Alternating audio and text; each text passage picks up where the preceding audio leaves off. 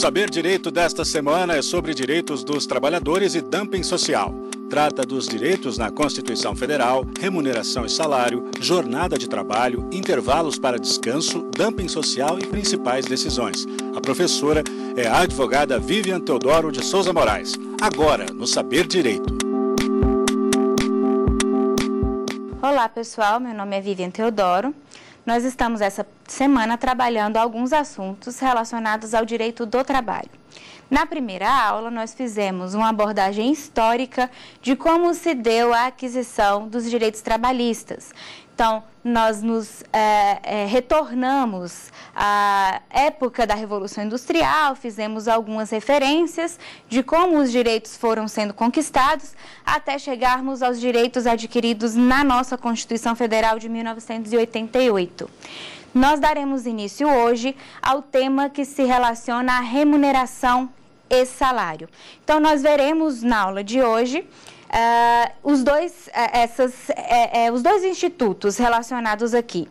Mas alguns podem me perguntar, mas remuneração e salário não são a mesma coisa? É sobre isso que nós trataremos aqui hoje. Ao longo do curso, nós ainda veremos a respeito das jornadas de trabalho, e veremos também questões referentes aos períodos de descanso certo? E na última aula eu trago um tema específico uh, que tem sido bem mais discutido uh, atualmente, que é o tema dumping social, que tem sido reconhecido por alguns como uma nova modalidade de indenização em relação ao não reconhecimento, ao não cumprimento dos direitos trabalhistas, em especial esses que nós vamos trabalhar aqui: salário, remuneração, jornada e os períodos de descanso. Para que nós possamos dar início, a primeira coisa que a gente precisa saber é o conceito de salário. O que, que é salário, gente? Salário é uma contraprestação paga em pecúnia. O que, que é pecúnia? Direito. E por que contraprestação? Porque eu pago o salário em decorrência de uma determinada atividade prestada. Então, o trabalhador exerce sua atividade e o empregador paga em pecúnia ou também em utilidade. Então, o salário, pelo que a gente já pode ver aqui, é uma contraprestação paga em pecúnia, dinheiro, ou em utilidade. Ela tem que ser paga diretamente pelo empregador. Diretamente pelo empregador, mas só pelo empregador? Não, existe também dentro do que a gente chama de remuneração, aquelas verbas, aqueles valores que são pagos de maneira indireta. Então, peraí, salário é aquilo que é pago diretamente. E remuneração? Remuneração é tudo aquilo que engloba a, a, o pagamento direto e o pagamento indireto. Então, só é salário tem um, um, doutrinador que, que diz, é, o Márcio Túlio Viana, que diz que só é salário aquilo que sai das mãos do empregador. Então, saiu da mão do empregador de maneira direta, o pagamento é feito direto ao trabalhador, ao empregado, é salário. E aquilo que não é vindo do, salário, do desculpa, do empregador, compreende o que a gente vai chamar de remuneração. A Constituição Federal lá no artigo 7 no inciso 4 garante o salário mínimo. E lá ela vai dizer que todo trabalhador tem direito a um salário mínimo garantido por lei. Um salário mínimo que é nacional. Um salário mínimo nacionalmente reconhecido. Uh, vamos lá. Esse salário mínimo, ele tem que ser capaz de garantir o mínimo de uh, vitalidade para o trabalhador. O que, que é necessidade básica vital, gente? Saúde, educação, uh, cultura, saúde, educação, cultura, lazer. Então, o salário mínimo, nacionalmente reconhecido, deve ser capaz de garantir o mínimo de vitalidade ao trabalhador. Mas então, o que, que é remuneração? Remuneração é o pagamento direto mais o pagamento indireto. O que, que pode ser entendido como esse pagamento indireto? Pagamento indireto pode ser reconhecido como as gorjetas. As gorjetas são um excelente é, exemplo de pagamento indireto, certo? Há quem entenda, então, que remuneração e salário é a mesma coisa, mas se assim fosse entendido, a própria legislação não teria trazido como uh, institutos diversos. Então, o que, que a gente pode, pode é, é, partir do pressuposto? Remuneração é o todo, em que salário é uma espécie. Então, eu tenho, se a gente pudesse desenhar, eu teria numa, numa fórmula remuneração igual salário mais pagamentos indiretos. Um exemplo de pagamento indireto, as gorjetas que o trabalhador pode receber. O artigo 457 da CLT assim diz: compreendem-se na remuneração do empregado para todos os efeitos legais, além do salário devido e pago diretamente pelo empregador, como contraprestação do serviço, as gorjetas que receber. Então, olha só, compreendem-se na remuneração. A lei não falou compreendem-se no salário. Compreendem-se na remuneração para todos os efeitos além do salário. Então, aqui a gente consegue perceber que a CLT fez uma diferenciação entre os dois institutos, remuneração e salário. Então, remuneração, aquilo que pode ser entendido como pagamento indireto, que podem ser os pagamentos realizados por terceiros, e salário, aquele pagamento feito de maneira direta. Então, para memorizar, salário é uma contraprestação paga diretamente pelo empregador ao empregado. Seja em dinheiro ou seja em utilidades, que a gente vai ver um pouquinho mais adiante o que seria esse salário utilidade. E remuneração são os pagamentos indiretos. O melhor exemplo que a gente tem de pagamento indireto são as gorjetas, que o próprio artigo 457 da CLT traz para a gente como exemplo. Então vamos lá, gente é, fui a um restaurante. Tem um garçom. Aquele garçom, ele recebe um salário. Mas, quando vem a notinha, vocês conseguem observar que tem um valor, um percentual, que normalmente é de 10%. Aquele percentual é entendido como gorjeta. Quem paga? Eu, consumidor. Então, aquele percentual é pago indiretamente. Esse percentual compreende a remuneração, certo? Então, remuneração daquele empregado, daquele garçom, daquela lanchonete, daquele bar, daquele restaurante, compreende o salário que é pago diretamente pelo dono do estabelecimento, por ser empregador, mais as gorjetas que ele recebe dos consumidores que uh, consomem aqueles determinados serviços. Gorjeta não é apenas aquela paga espontaneamente. Eu posso também tirar o dinheiro do bolso e pagar diretamente para o empregado, correto? Essa que vem na notinha de serviço também é entendida como gorjeta, só para a gente não achar que pelo fato de vir na conta, aquilo ali não é entendido como gorjeta, tá? No Brasil, entretanto, a gente adota o que a gente chama de sistema facultativo, em que pese vir na notinha de serviço, é, observem que hoje, ah, antigamente já vinha até calculado. Hoje, a grande maioria dos estabelecimentos calcula ah, e coloca a caneta. Você não é obrigado a pagar. Uh, a grande maioria paga. Até, principalmente se você tem a, a, um bom serviço prestado, você acaba pagando. Mas aquilo ali é facultativo. Então, no Brasil, a gente não tem o sistema de gorjeta obrigatório. O nosso sistema é, não te obriga a pagar a gorjeta do empregado. De todo modo, ele tem o salário dele garantido. Independente dele receber a gorjeta ou não, ele vai receber salário. Mesmo porque a legislação não permite que ele receba a remuneração dele única e exclusivamente calculado sobre as gorjetas. Ele tem que ter um salário fixo, ele tem que ter o que a gente chama de salário base. Então, o empregado ele não pode ter a remuneração dele toda advinda única e exclusivamente das gorjetas que são pagas pelos consumidores.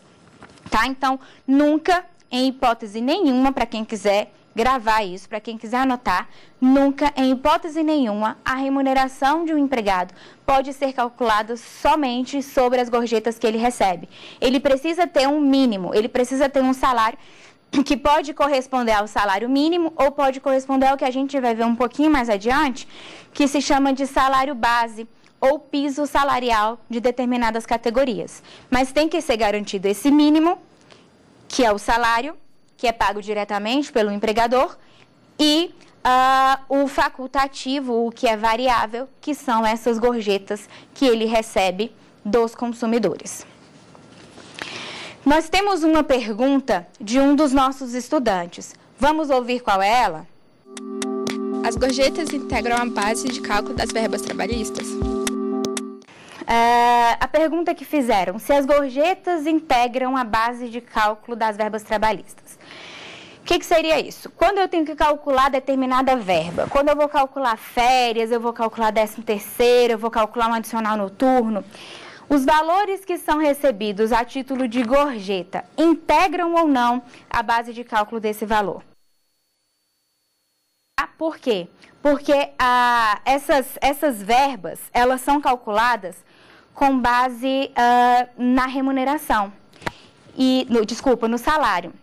Então, não vai integrar, certo? A gente tem uma súmula, que é a súmula 354 do TST. A súmula 354, eu vou pedir licença para vocês para dar uma lidinha nela. A súmula 354 do TST assim diz: As gorjetas cobradas pelo empregador na nota de serviço oferecidas espontaneamente pelos clientes integram a remuneração, não servindo de base de cálculo para as parcelas de aviso prévio, adicional noturno, horas extras e repouso semanal remunerado, tá? Independente de serem habituais ou não. Isso aqui já foi até matéria de prova de concurso. Uh, elas integram algumas verbas. Verbas que são calculadas sobre a remuneração em si, como FGTS, integra. Mas se forem verbas calculadas sobre o valor do salário, elas não vão integrar. Dando continuidade, uh, a gente precisa retornar aqui ao nosso conteúdo. Retornando ao nosso conteúdo, a gente precisa uh, falar um pouquinho das terminologias que a gente tem em relação ao salário. A gente vê diversas terminologias que são utilizadas e que Maurício Godinho Delgado, inclusive, diz é, em uma de suas obras que essas terminologias são impróprias. Então, muitos, uh, muitos nomes são a, a, adaptados com a expressão salário, mas que nada tem a ver com o salário, entendido aqui dentro do direito do trabalho.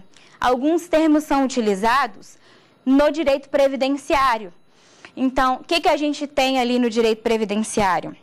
A gente tem uh, salário educação, salário família. A gente tem algumas expressões utilizadas e que tecnicamente elas são incorretas porque elas não estão ligadas ao que a gente entende como salário.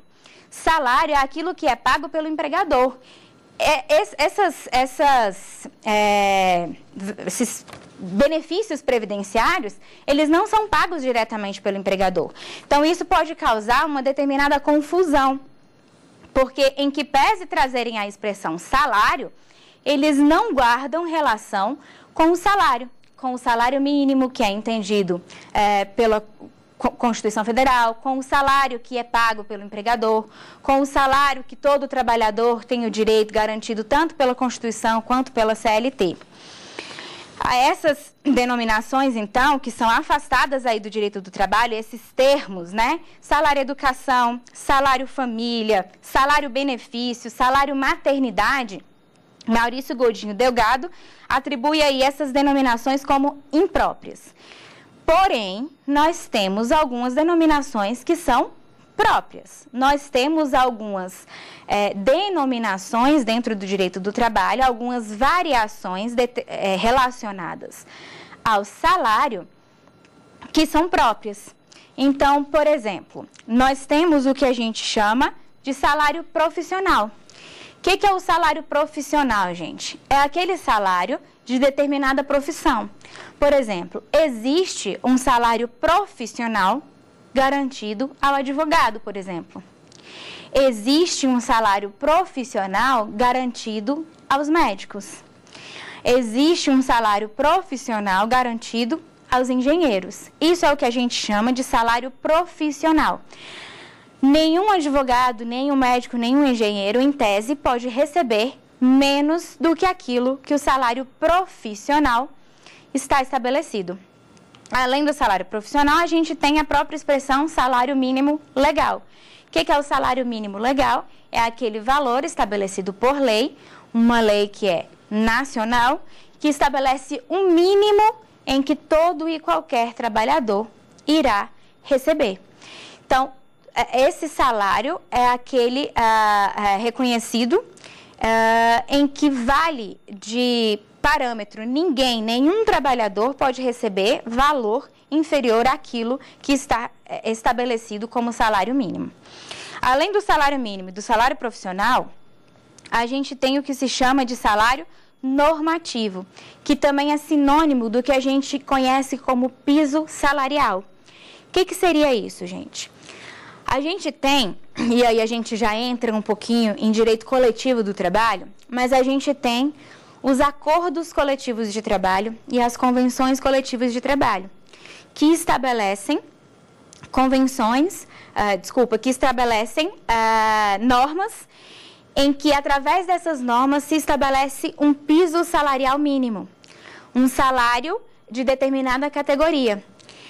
Então, a título de exemplo, a gente tem o sindicato uh, dos trabalhadores das indústrias do comércio, por exemplo. A gente tem o sindicato uh, das, dos metalúrgicos. O sindicato estabelece, através de acordos ou convenções, pisos salariais mínimos para determinadas categorias. Então, vejam, a gente tem o mínimo, que é o salário mínimo. Essas convenções, esses acordos coletivos, em regra, estabelecem um pouquinho mais, uma fração um pouco superior àquilo que o mínimo garante.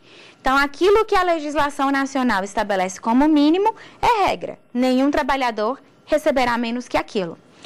Porém, através de acordos, através de convenções coletivas de determinadas categorias, pode-se estabelecer o que a gente chama de piso, piso salarial, ou também chamado de salário normativo. Por que salário normativo? Porque vem através de uma norma regulamentada, através de um instrumento normativo, uma convenção ou um acordo coletivo, que estabelece uh, um valor uh, X para que aquela determinada categoria. Isso faz parte de uma valorização profissional. Então, estabelece-se que aquela determinada categoria tem que ter aquele piso salarial mínimo. Então, a partir disso, uh, uh, quem contratar deve obedecer aquele piso ali, certinho? Além desses, a gente tem também aquilo que a gente chama de salário base. O que, que é salário base?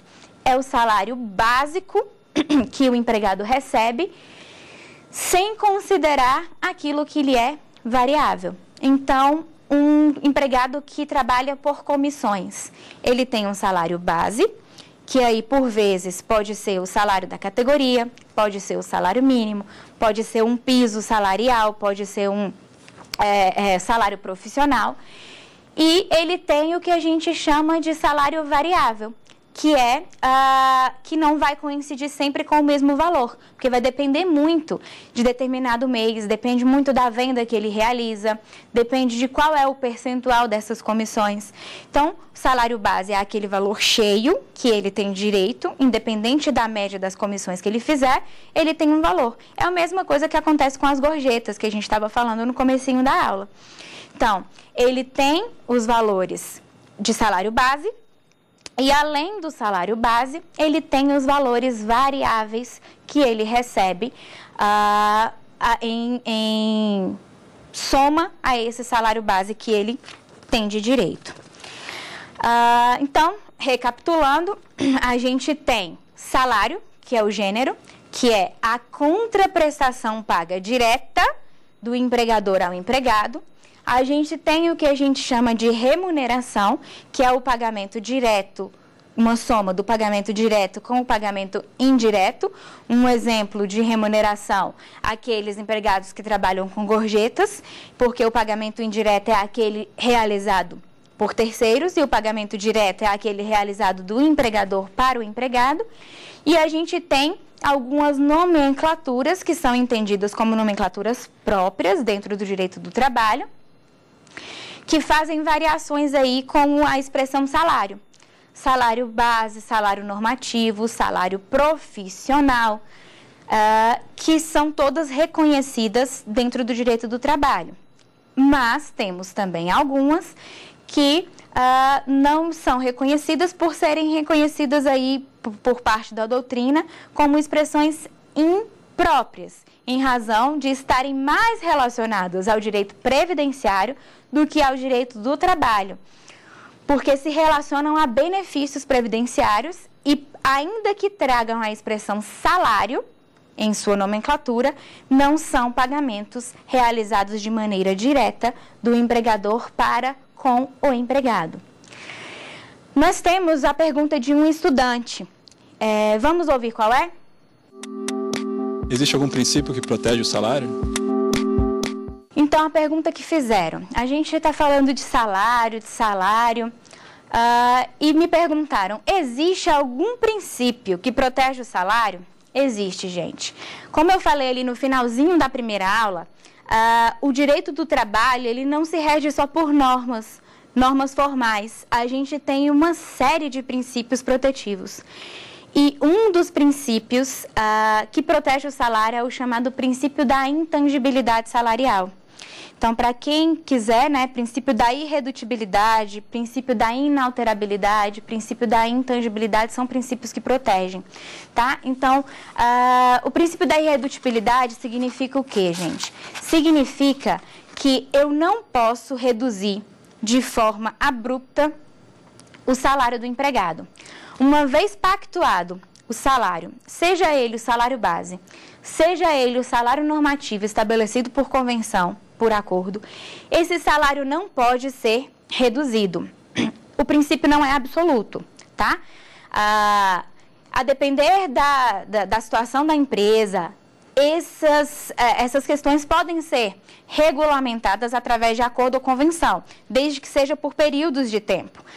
Uh, mas a regra é que esse salário não pode ser alterado. Uma vez estabelecido entre as partes, o salário deve ser mantido, porque isso geraria uma insegurança jurídica para o trabalhador. Imaginem, eu fui contratada hoje para receber é, determinado valor. Vamos lá, eu fui contratada numa empresa, eu vou receber dois mil reais. Fiz todo o contrato de trabalho, comecei de início. Comecei a trabalhar, dois, três meses trabalhando.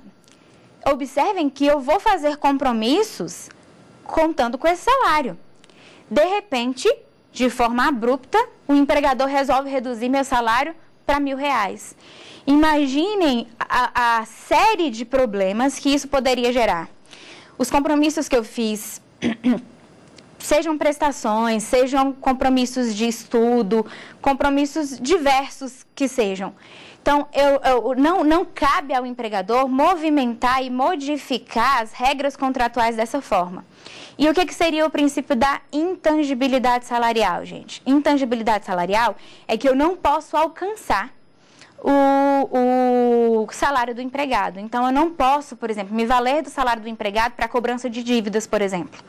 Certo? Então, é, são princípios que protegem de fato o contrato, que protegem de fato o salário, o valor que foi estabelecido ali entre as partes contratuais.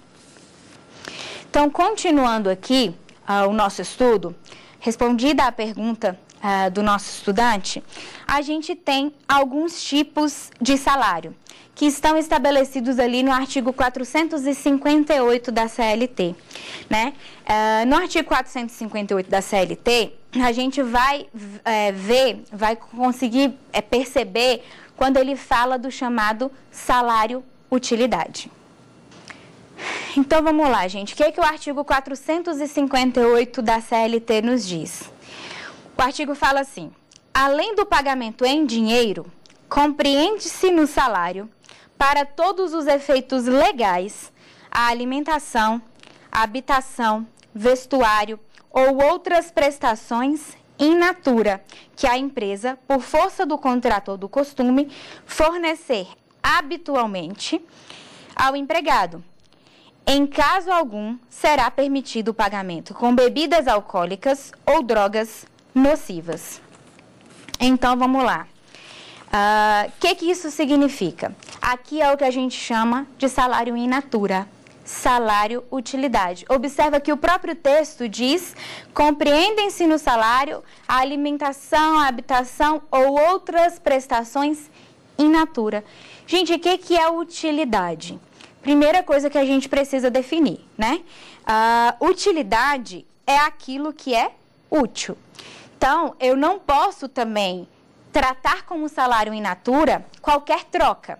Primeiro, porque o nosso ordenamento jurídico proíbe o que a gente chama de truck system, que é um sistema de trocas. E isso acontecia lá na época do feudalismo, em que a gente tinha a troca, uh, em que a gente se estabelecia a servidão por dívidas. Então, o empregado, ele trabalhava por meio de troca. O empregado, que nem era visto como empregado naquela época, né? O, o, o, o servo, ele trabalhava visando meio de trocas, diversas elas, inclusive troca de, por proteção política. Hoje, esse sistema não é permitido, que é o chamado truck system, sistema de trocas. Isso não é permitido no nosso ordenamento jurídico, que é a contraprestação de um trabalho apenas por bens, apenas por trocas. Mas não é isso que a CLT está dizendo? Não, gente, não é isso que a CLT está dizendo. A CLT está dizendo que pode também, além do pagamento direto do salário em pecúnia, oferecer parte do pagamento em utilidade, que é o que a gente chama de salário in natura, tá? Observem que não pode ser todo o pagamento feito em utilidade, tá? Isso é uma observação que é, que é importante a gente fazer. Não pode ser todo o pagamento feito em utilidade, porque senão a gente volta a ter o sistema de trocas. Parcelas apenas do pagamento é que podem ser feitos dessa forma, tá? Então, o que, que seria esse salário utilidade? Utilidade é tudo aquilo que for útil ao empregado. Tudo aquilo que for útil a ele é entendido como salário utilidade. Salário in natura, então. Ah, vamos lá, algumas observações em relação a isso. Primeiro deles, tem que ser habitual. Eu não posso oferecer no mês e depois desistir do fornecimento dessa habitualidade, dessa necessidade que ele tem.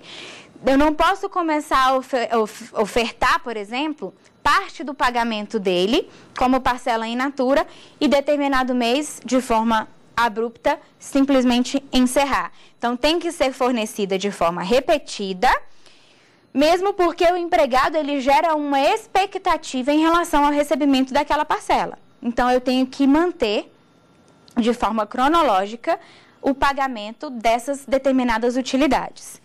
Segunda, tem que ser benéfica. O próprio texto da CLT diz o quê? Não é permitido o pagamento com drogas, com bebidas. Isso foi, inclusive, tema uh, da questão de prova quando eu fiz o AB. Eu me, me recordo perfeitamente. É, o problema da, da prova dizia que era uma empresa de cigarros e o pagamento seria feito com troca em maços de cigarro. É exatamente a proibição, não só a proibição ali, mas a súmula 367, inciso 2 do TST, também traz o mesmo dispositivo. Então, para quem quiser anotar, súmula 367, inciso 2 do TST, proíbe que a prestação in natura seja relacionada a droga, a cigarro, certo? Então não pode. Então tem que ser saudável. Não pode ser aquilo que traga qualquer malefício ao empregado. Além de ser habitual e de ser benéfica, precisa ter a natureza da contraprestação, gente. Tem que ser para o trabalho. Desculpa, pelo trabalho. Façam aí a correção. Tem que ser pelo trabalho, é contraprestação. Eu estou dando a habitualidade em razão do trabalho que é prestado e não para o trabalho. Se eu ofereço o carro, mas o carro vai ser utilizado para o trabalho, não é prestação in natura.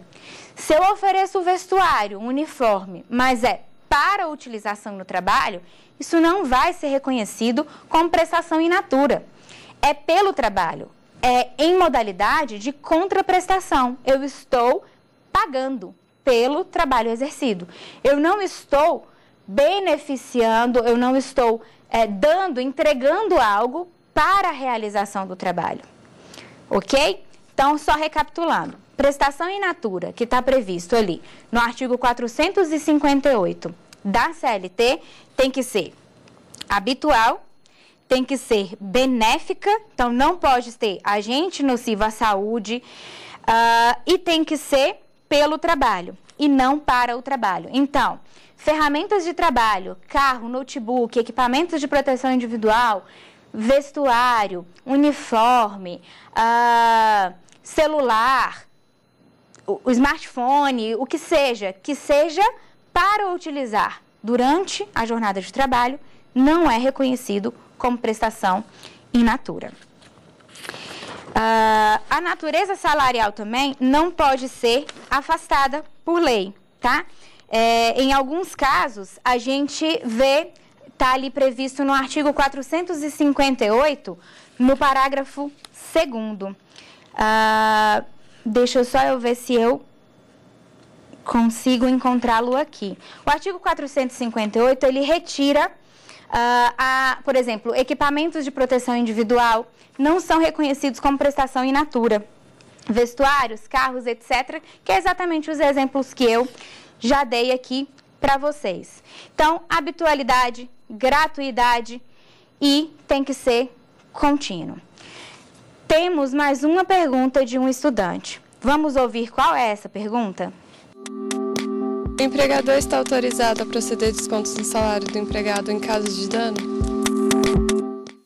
Então vamos lá, gente. Uh, a gente está falando aqui de salário, né? Falei do, do salário, falei do salário utilidade e fizeram uma pergunta interessante.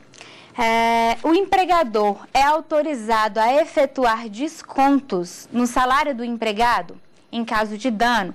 Foi bom o, o acréscimo dessa, dessa expressão, né? Em caso de dano, porque vamos lá, a gente já começou a falar da questão do, dos princípios protetivos. A gente tem o princípio da irredutibilidade, que eu já falei um pouquinho, e a gente tem um princípio que é chamado princípio da intangibilidade, que eu dei uma introduçãozinha e falei o quê? O empregador não pode alcançar o salário do empregado. A regra geral é que não podem ser realizados descontos. Eu não posso cobrar dívidas, eu não posso fazer descontos, efetuar descontos nos salários dos empregados. E se for em decorrência de dano? Se for em decorrência de dano, o artigo 462 da série T estabelece que desde que haja a pactuação no contrato de trabalho e que haja a comprovação desse dano, o desconto pode ser efetuado. Então, lá no parágrafo 1 está a possibilidade, tá? Mas tem que ter sido acordado no contrato de trabalho. Então, a regra geral é que descontos não podem, não devem ser realizados. Descontos nos, no, nos salários dos empregados são proibidos, até por proteção do princípio conhecido como intangibilidade salarial. Contudo, havendo a ocorrência do dano e estando previsto no contrato de trabalho, esse desconto pode ser realizado. Observem que os requisitos eles são cumulativos. Eu tenho que ter a ocorrência do dano comprovado e eu tenho que ter a previsão contratual no momento do contrato de trabalho de que, havendo dano, o desconto será realizado. Porém, a gente tem uma súmula, que é a súmula 342 do TST, que estabelece, e não é uma ofensa ao princípio, que estabelece uma forma de desconto. A súmula diz assim: descontos salariais efetuados pelo empregador com a autorização prévia. Observem que até aqui tem que ter autorização prévia. E por escrito do empregado para ser integrado em planos de assistência odontológica, médico hospitalar, de seguro, de previdência privada ou de entidade cooperativa, cultural ou recreativo associativa de seus trabalhadores em seu benefício e de seus dependentes não afrontam o dispositivo previsto no artigo 462 da CLT, salvo se ficar demonstrada a existência de coação ou de outro defeito que vicie o ato jurídico. Então, observem, a regra aqui, eu não posso ter desconto. O artigo 462, no parágrafo 1 prevê que o desconto pode ser realizado em caso de dano e desde que haja previsão contratual. E aí a súmula 362 do TST prevê uma outra possibilidade que não está ligada ao dano, mas que também precisa ser pactuada entre as partes. Então, desconto no salário do empregado somente se tiver anuência dele, certinho? Retornando então aqui ao nosso estudo, uh, a gente tem mais algum um outro tema para ser tratado, que é o tema da equiparação salarial. Gente, o que, que é equiparação salarial? A gente ouve muito falar disso. E a gente tem muitas ações judiciais em que, por vezes, se discute a equiparação salarial. Em que, por vezes, o empregado requer o que ele chama de equiparação salarial, sem muitas vezes ser, tá? Então, é, eu quero trabalhar um pouquinho com vocês o que seria essa equiparação salarial. A equiparação salarial está prevista na Constituição Federal, lá no artigo 7 inciso 30, tá? Não ela propriamente, não está lá escrito equiparação salarial. Mas o que, que é o artigo 7 inciso 30 faz? Ele proíbe diferença de salário. Então, proíbe qualquer diferença de salários, de exercício de funções e de critério de admissão por motivo de sexo, idade, cor ou estado civil. É o que a gente comumente chama de equiparação salarial. Uh, essa equiparação salarial está prevista no artigo 461 da CLT e está prevista no artigo 6 do, ou desculpa, na súmula 6 do TST. Então, artigo 461 da CLT e súmula 6 do TST, tá? Uh, o primeiro ponto que a gente precisa trabalhar aqui, que a gente precisa identificar para que a gente consiga é, afirmar que existe uma equiparação salarial é que exista identidade de funções. Então, observem, precisa exercer a mesma função. A função tem que ser idêntica. Eu não digo o que está escrito lá na carteira de trabalho, que por vezes uh, muitas empresas tentam burlar exatamente contratando os empregados de forma diferenciada. Mas a função exercida ela tem que ser idêntica. Então, a primeira, o primeiro requisito que a gente tem é a identidade de função. Então, a prestação do serviço tem que ser idêntica, ainda que a nomenclatura do cargo seja diferente. Mas a atividade realizada por mim e pelo meu paradigma, que é a expressão que a gente usa, então, a pessoa a quem eu quero me equiparar é chamada de paradigma. Então, a função que eu exerço e a função que o meu paradigma exerce tem que ser igual, tem que ser idêntica.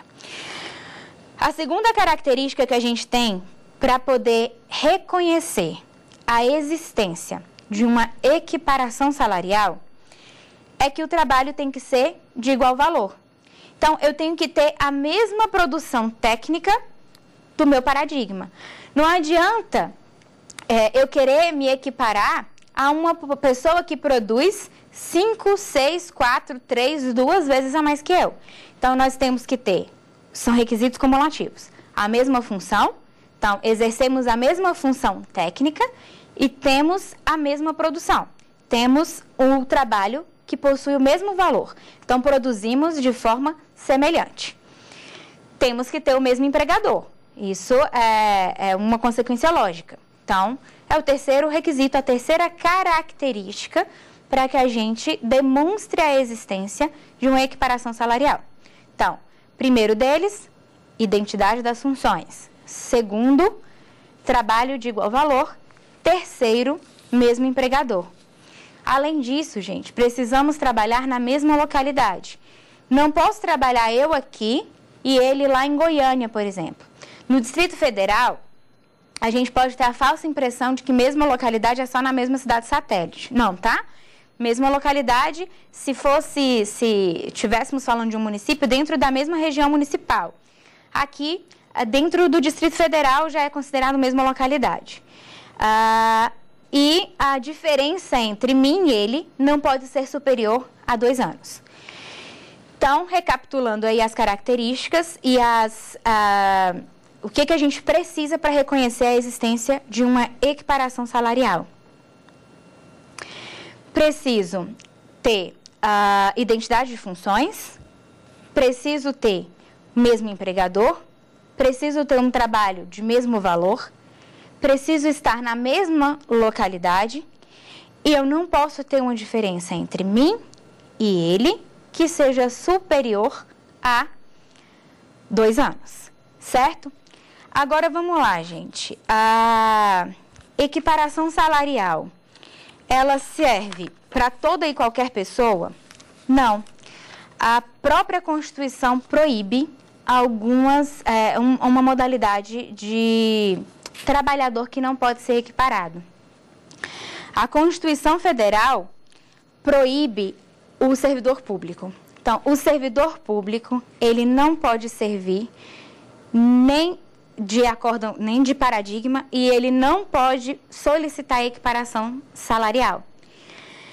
E se for o empregado público, aquele que é, ainda que seja da administração pública, mas ele é seletista, ainda assim, a Constituição diz que para aquele servidor público, aquele empregado público, ainda que seletista, não existe possibilidade de equiparação salarial.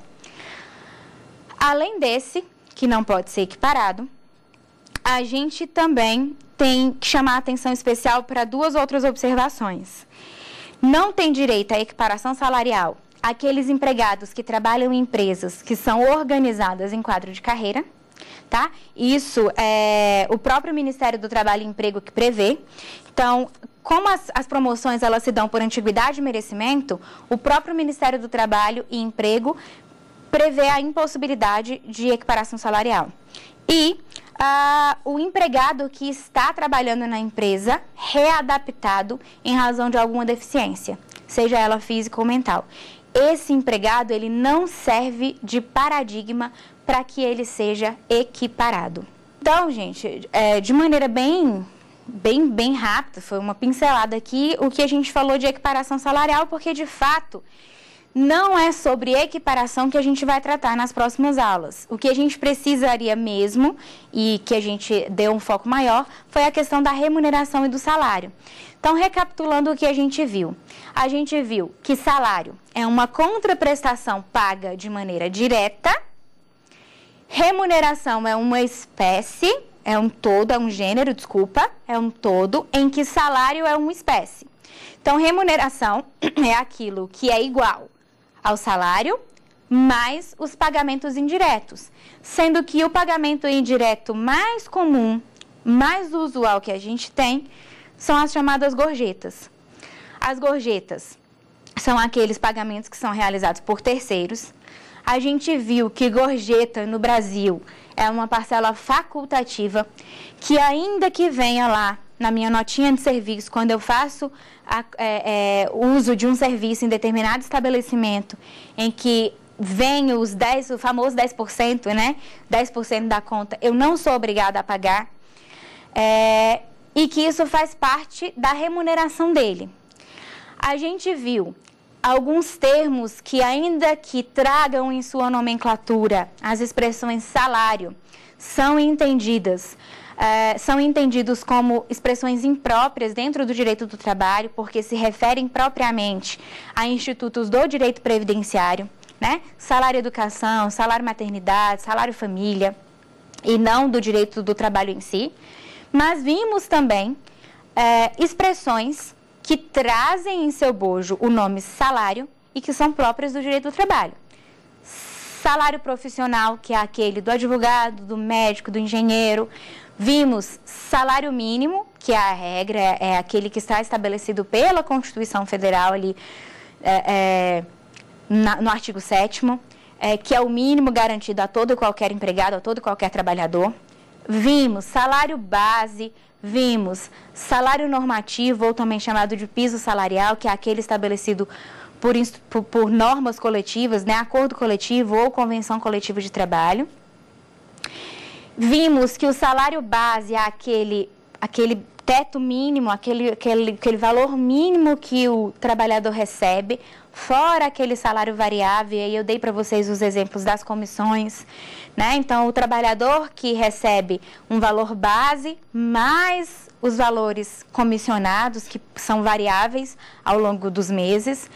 Uh, nós vimos as questões relacionadas àquilo que é entendido como salário-utilidade, alimentação, vestuário, Vimos também os requisitos para que isso seja entendido como salário-utilidade. Então, tem que ser habitual, tem que ser em caráter de contraprestação, tem que ser pelo trabalho, não pode ser algo que eu vou utilizar para o trabalho. Então, aquilo que o meu empregador oferece, notebook, telefone, smartphone, celular, iPad, tablet, o que for, mas que seja para eu utilizar no trabalho não serve como pagamento, como reconhecimento de pagamento in natura, porque é para o trabalho e não é pelo trabalho.